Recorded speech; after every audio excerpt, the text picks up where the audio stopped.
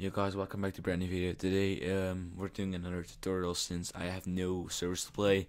I had to record a video and I thought like yeah let's do a tutorial. So I actually seen some you trappers use this trap in their videos and like barely anyone know like people know how to build a trap but like if you don't I just want to help you guys out you know to um so this is how the trap is gonna work it's gonna push these blocks and I'll like it's pretty easy if you can see and this is what it will do it will cover up this and yeah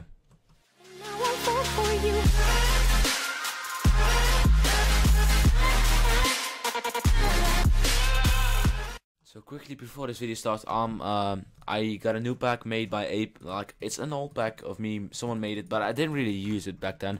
But I actually want to start using it because I really like this pack.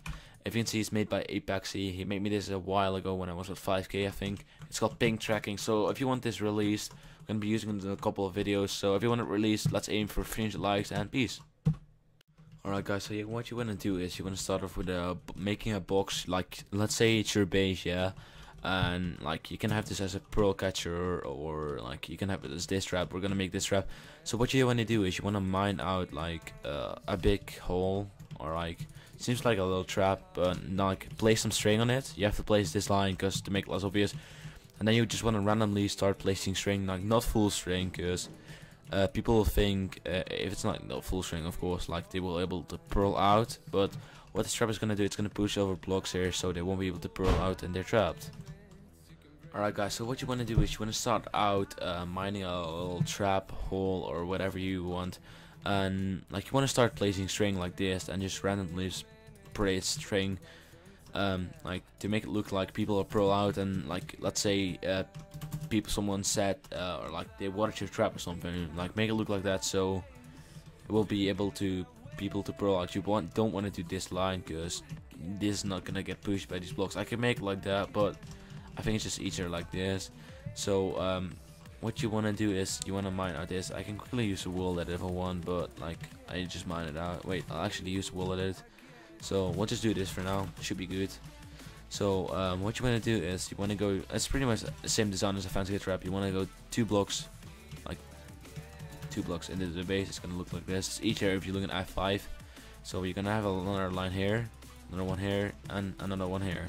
It's gonna be two blocks for the redstone as well. So just quickly mine this out.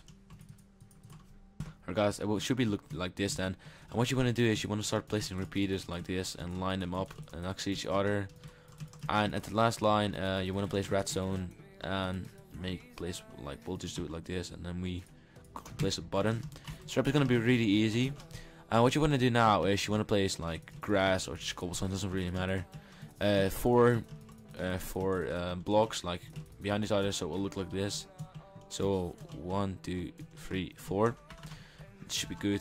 And what you do now want to do is now place these pistons against up each other so they will push out these blocks uh, let's quickly do that. Alright, so this is how it's supposed to look now. Um, how the trap is gonna work. You can do this like make it differently. You don't have to do it with a base, but I prefer making this with a base because it's like less obvious if you have a trap near your base, you know.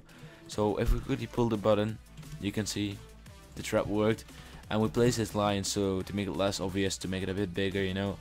We can also do it like under the base here, but like they won't be able to pull out into the line of string here and people get stuck in here in your trap. You can make it like um, so you have to place a pressure plate in the corner or something. We can make it do like that. I'll quickly guys like show you guys how to do it. What you want to do is you want to make like a grinding area where you bow them or something. It's totally up to you how you're supposed to kill them down here.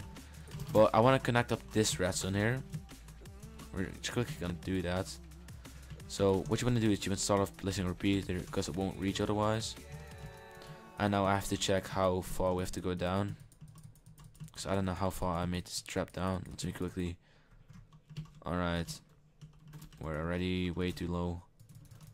This level should be good, I think. So if we man this out. Let's have a look. Alright, we're gonna end up like here. So you mine this down.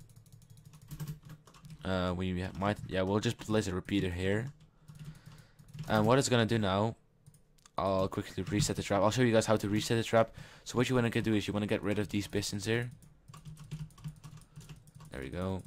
and you want to get rid of these blocks here and just you have to replace after using the trap each time you have to replace the string to make it like less obvious you know obviously um so let me grab some string we'll just like randomly place some string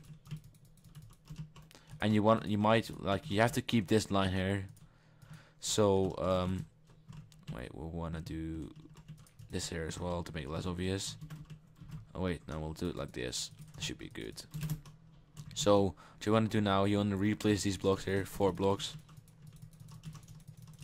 Quickly do that. And you want to do the pistons again, as I did before, so yeah.